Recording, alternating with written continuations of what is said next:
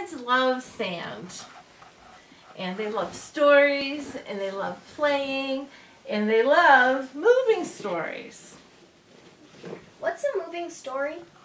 Who said that? Oh my gosh, it's perfect Yeah, timing. what is it? Oh, I'm so glad you asked. Moving stories are stories that come in a box and they're told in the theater of the sand tray. Thought of a moving story?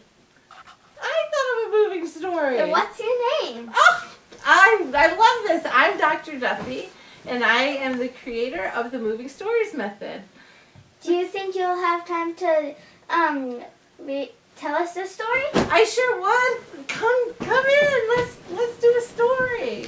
Okay. First step is we have to get the sand tray ready, and so we need to make some water. You guys want to pass the way? See, it's blue in the bottom. You can make lots of water. There you go. You guys are working together, and then we need a tree. You want to put the tree in? And I just thought of this. Sometimes kids like to use some of the colored sands. You want to put some colored sand in there for for water? Okay, that's good. That's good. Okay. No, it's on a beach, so there's not grass. There. Oh, you want to have some grass? You, you can make it some grass.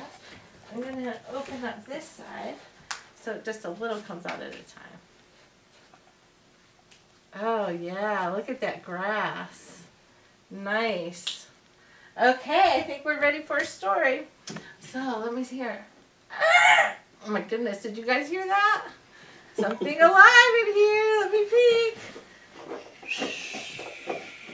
Is an eagle. Okay, so we'll put eagle up in the tree. So once upon a time, in a land far away, but not that far away, there was an eagle. You got the idea? That's what moving stories are.